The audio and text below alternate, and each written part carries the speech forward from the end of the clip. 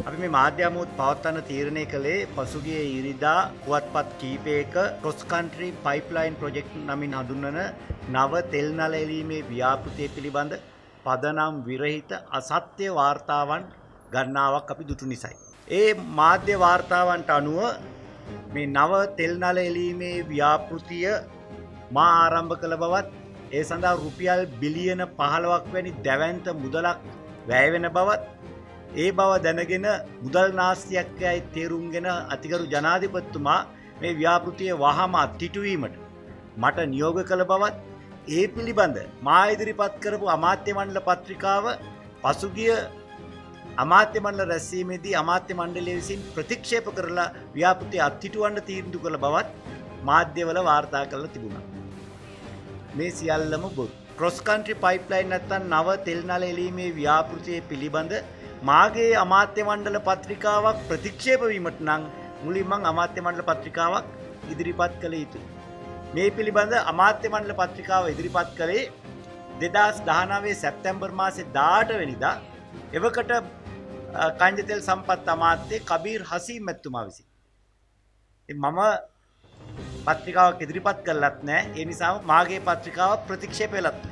ඒ වගේම මේ ව්‍යාපෘතිය අත්හිටුවීමට නියෝග කරනවා තබා මේ ව්‍යාපෘතියේ පිළිබඳ ජනාධිපත්තුමා විසින් මා සමග කිසිම දිනක කිසිම දෙයක් කතා කරල නෑ. කබිරසි මැමත්තුමා ඉදිරිපත් කරපු අමාත්‍ය මණ්ඩල පත්‍රිකාව අනුව මේ ව්‍යාපෘතිය ඒ වටිනාකම රුපියල් බිලියන නවය දසම හයක් මිස රුපියල් බිලියන පහලවක් නෙවෙයි. දැන් ඔන්න බොරු හතරයි. මොකක්ද මා විසින් අමාත්‍ය මණ්ඩල පත්‍රිකාවක් ඉදිරිපත් කරලා නැහැ. ඒක ඉදිරිපත් කරේ කබීරසිංහ ඇමතුමා. ඒ නිසා මාගේ අමාත්‍ය මණ්ඩල පත්‍රිකාවක් අමාත්‍ය මණ්ඩල විසින් ප්‍රතික්ෂේප කරලත් නැහැ. තුන්වෙනුව අතිගරු ජනාධිපතිතුමා විසින් මේ ව්‍යාපෘතිය නතර කරන්න ඇයි කියලා මට නියෝග කරලත් නැහැ.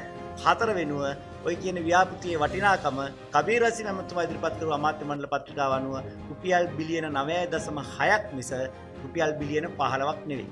ඇත්තෙන්ම ජනාධිපතිතුමා මේ පිළිබඳ කතා කළේ නැතුව විතරක් නෙවෙයි දීර්ඝ කාලයක් ලේකම්වරයෙක් ලෙස කටයුතු කරලා අත්දැකීම් තියෙන පුද්ගලයෙක් විදියට අමාත්‍ය මණ්ඩලයක් ගත්ත තීන්දුවක් ජනාධිපතිතුමාගේ නියෝගයකින් අත්හිටුවන්න බැරි බව එතුමා හොඳින්ම දන්නවා. ඇත්තෙන්ම මොකද්ද වුනේ? මෙම ව්‍යාපෘතිය කබීරසි මැමත්තුමාගේ කාලේ ආරම්භ කරලා තිබුණා.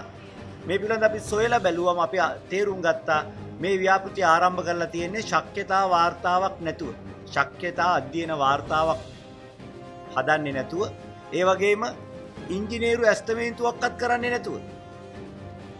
බැලු බැල්මට දූෂිත ආකාරයෙන් තමයි මේ ගණු දෙනුව සිද්ධ වෙලා තියෙන්. ඒ නිසා මේ පිළිබඳ වාම ඉංජිනේරු ඇස්තමේන්තුවක් සකස් කරන්නත් අපේ ආයතනය මීට කලින් තෙල්නල් එලීම ආයතනය විසිම කරලා තියෙන නිසා මෙහි කළ හැකි කොටස ආයතනය හරා කර ගැනීමට ඇති හැකියාව පිළඳ අධ්‍යනය කිරීමටත් මම කයිජතෙල් තොග ගබඩා පර්යන්තය කළමනාකාරිත්වයට උපදිස් දුන්න. එතකොට මේ ව්‍යාපෘතිය විදේශය සමාගම් ලවා කරගෙන සල්ලිකුට්ටි ඉපීමට බලාපොරොත්තු හිට යම් පිරිසක් මේ තීන්දුවත් සමඟ රිදිල කලබල වෙලා අපිට පහරදීමේ තැනකට තල්ලු වෙලා බවයි මේ මාධ්‍යවාර්තාවලින් පෙනෙන්. ඉතින් මේ පිළිබඳ බොරුවාර්තා පල කළ සන්ඩේ අයිලන් පුවත් පතටත් මවුරට පුවත් පතටත් එරෙයිව රුපියල් බිලියනය බැගින් බන්ධ ඉල්ලලා එන්තරවාසි ඇවීමටත් ඔවුනේ මුදල නොගෙව්වොත් නඩු පැවරීමටත් මම ඉදිරිට බලාපොරොත්තුවෙන්. breaking.lk